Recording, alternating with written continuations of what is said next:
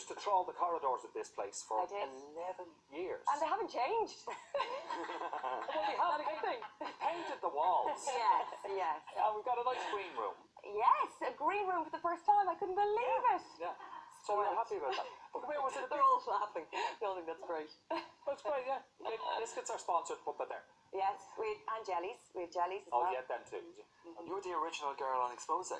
I the was. original. The The original. original Yeah. girl on Xposé. I remember, yeah. I But I, remember I that. was here 11 years because I was entertainment correspondent for nine years before that. Oh, wow. Wow. So, so stepping out as you did in 2009, mm-hmm. was, was that a massive adjustment? You know?